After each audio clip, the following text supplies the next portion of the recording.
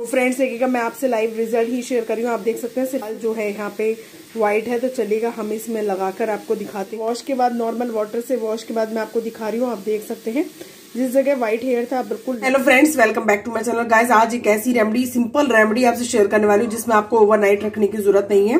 किसी तरीके से भी तो देखिएगा, सबसे पहले आपको लेना है खाली बॉयल अगर आप चैनल पे नए हैं तो please like share and subscribe bell को ज़रूर से प्रेस कर दिया करें, ताकि सारे नोटिफिकेशन आपको मिल सके।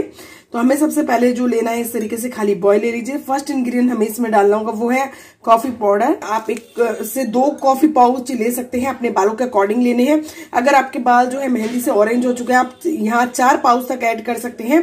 क्योंकि ध्यान रखना है, आपको अगर आपके बालों की क्वालिटी बिल्कुल सफ़ेद है, आपके बाल डैमेज है, आपके बाल खराब है तो मेहंदी और नेचुरल चीज़ें जो है, आपको कलर नहीं देती है तो आपको चार पाउच यहाँ पे टेन टेन रुपीज़ वाले ले लेने हैं। दे रही हूँ ये देखिएगा, इस तरीके से मैंने डाल दिया है। इस तरीके से आपको पूरा पाउच ले लेना है। और मैंने पूरा पाउच यहाँ पे ऐड कर दिया। अब देखिएगा सेकंड इंग्रेडिएंट जो यहाँ पे हमें इसमें लेना होगा, वो है इंडिको पाउडर तो पाउडर आपको अपने बालों के लेंथ के हिसाब से लेना अगर बाल आपके बहुत ज़्यादा व्हाइट हैं, बहुत ज़्यादा सफ़ेद है, अगर आप फ्रंट में लगा रहे हैं, आप अपने अकॉर्डिंग ले सकते हैं। मैं यहाँ फ्रंट में लगाने वाली हूँ।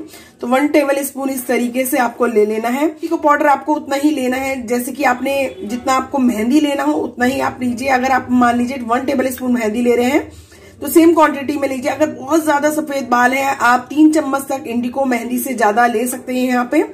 ध्यान रखिएगा कॉफ़ी ज़्यादा रखनी है इंडिको पाउडर ज़्यादा रखना है आपको। इस बात का आपको ध्यान रखना है। क्वालिटी आपके हेयर के हिसाब से ही डिपेंड करती है। टेबल स्पून में यहाँ पे जो है रतन जोत का पाउडर ले रही हूँ, इस तरीके से मार्केट का ही है ये। आप चाहे तो घर में पीस के भी बना सकते हैं, या फिर आप इसका वाटर तैयार कर सकते हैं। अगर आपके पास रतन जोत साबुत है तो चलेगा, मैं दिखा देती हूँ। होता है रतन जोत ये देख लीजिए, इस तरीके का होता है। और ये आप जो है थोड़ा सा लीजिए, पानी में डालिए, इसका वाटर तैयार कीजिए। लेकिन मैं आपको जो है सिंपल तरीके से दिखाने वाली हूँ। तो मैं यहाँ प्लेन वाटर से ही इसको मिक्स आउट करूँगी। फ्रेंड्स ये है ब्लैक कत्था। इसे अगर आप रोस्ट कर लेंगे, पूरी तरीके से ब्लैक हो जाएगा। और इसकी आपको ब्रिक मिल जाएगी। मार्केट में ब्रिक ले आइए, इसको पीस के रख लीजिए। तो आप जो है ब्लैक कत्थे का इस्तेमाल ज़रूर से कीजिए। ये हेयर का कत्था होता है और आपके बालों को नेचुरल तरीके से काला कर देता है। तो चलिएगा पहले मैं ब्रिक भी आपको उससे शेयर कर देती हूँ हाथों हाथ। है ये, देखिएगा, ये है ब्लैक कत्था। इस तरीके से आप देख लीजिए। इस तरीके का होता है ब्लैक कत्था और इसे आप अगर रोस्ट कर लेंगे तो पूरी तरीके से ब्लैक बन जाएगा ये।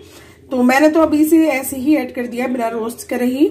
आप चाहे तो रोस्ट भी कर सकते हैं। आपको जो है ये ही वाला ब्रिक आपको जो है मार्केट से लेकर आनी है। घर पर आप इसे पीस लीजिए, या पानी में भिगो भी सकते हैं आप इसे तो भी ये मेल्ट हो जाएगा। लेकिन ये बिल्कुल इजीली घर पर पीस जाता है। पीस के रख लीजिए इसका पाउडर। आप जो है उसको डालिएगा तो फ्रेंड्स देखिएगा अब जो हमें लास्ट एंड फाइनल इंग्रेडिएंट इसमें ऐड करना होगा, वो है आपका मेहंदी पाउडर यहाँ पे मैं वन टेबल स्पून मेहंदी डालती हूँ। फ्रेंड्स देखिएगा, इस तरीके से वन टेबल स्पून में यहाँ पे मेहंदी पाउडर ले लेती हूँ। अब आपको क्या करना है? अब आपको इसमें डालना है लेमन लेमन जूस आप जो है एक लेमन तक डाल सकते हैं। इसके अंदर लेमन जब इसके साथ इंडिको के साथ में मिक्स किया जाता है, बहुत अच्छे से बालों को ब्लैक कर देता है तुरंत की तुरंत।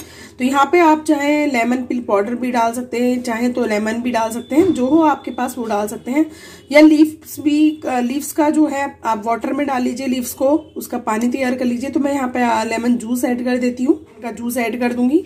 ये देखिएगा, इस तरीके से आपको डाल देना है। अब आपको इसे जो है, आप चाहे तो इसे चाय के पानी से घोल लीजिए। आप चाहे तो सिंपल वाटर से घोल लीजिए। जो भी आपके पास है अवेलेबल हो, आप उस तरीके से घोल सकते हैं। मैं नॉर्मल वाटर से ही घोल कर आपको दिखा रही हूँ इसे। फ्रेंड्स इस तरीके से आपको जो है, इसे मिक्स कर लेना है अच्छे से। और इतना आपको रखना है कि ये एक हमारा पेस्ट थिक सा पेस्ट बनकर रेडी हो जाए। ना ज़्यादा पतला हो, ना ज़्यादा गाढ़ा हो। इस तरीके का इसे मिक्स कर लेना है इसे। ये बहुत ज़्यादा जो है सिंपल मेथड है बालों को काला करने के लिए। इस तरीके से और 15 मिनट के लिए आपको इसे छोड़ लेना है। मतलब ऐसे ही इसे 15 मिनट तक रखकर आपको छोड़ना है क्योंकि जो इंडिगो होता है, अपना कलर चेंज करता है, इस तरीके से आपको 15 मिनट के लिए इसे रख देना है। ये देखिएगा फ्रेंड्स और ये बनकर जो है हमारा हेयर पैक बनकर रेडी हो चुका है। आपका बाल जो है किसी भी उम्र में नेचुरल तरीके से काला हो जाएगा। इसमें कोई भी ऐसा इंग्रेडिएंट नहीं है।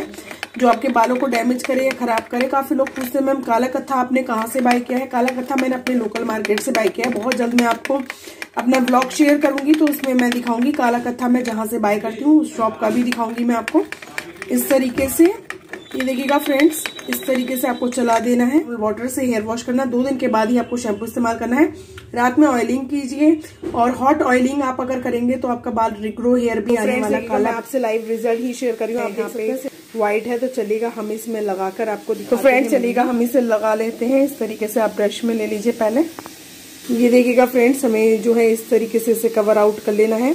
और दो से तीन बार आपको जो है इस तरीके से लगा लेना है। ये देखिएगा फ्रेंड्स और इसे आपको वेट ड्राई होने तक आपको रखना है। तो चलेगा मैं बाद में आपसे रिज़ल्ट शेयर करती हूँ। तो मैं सूखने का करती हूँ, उसको वेट ड्राई होने का करती हूँ इंतज़ार।